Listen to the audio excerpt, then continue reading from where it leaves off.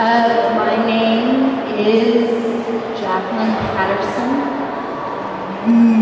I moved from Kansas City to California last year because a child protective services worker told me I should. Um, um, I have been living in, in California, I have been able to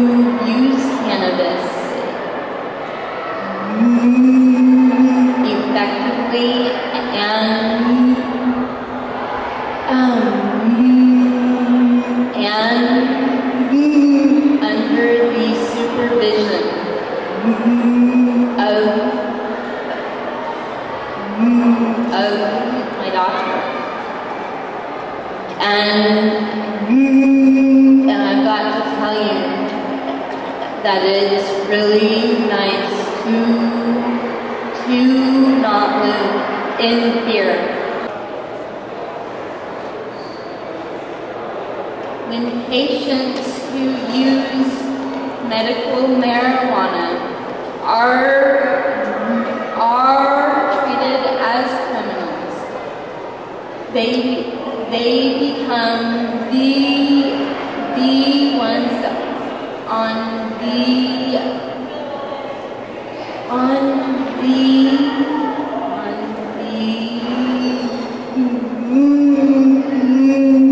other on the, on the other on the other end of the gun. Or using the, using the, the, the, the only medicine that works. Um, um, them. Okay, I'm just gonna. It's. I have. I have lived in For about a, a year now. And I've really got to tell you, it's nice to be normal. It's nice to be able to send my children to school and to not and, to not worry that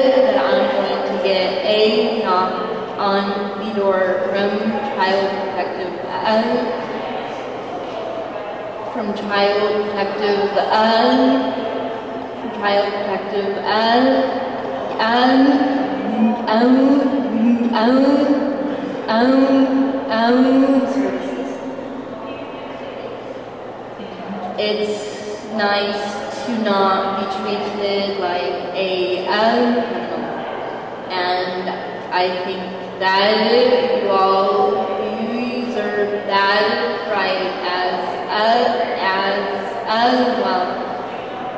Because as federal patient George McMahon says, the rights of the rights of one American belong belong be belong uh, belong uh, belong to us uh, uh, um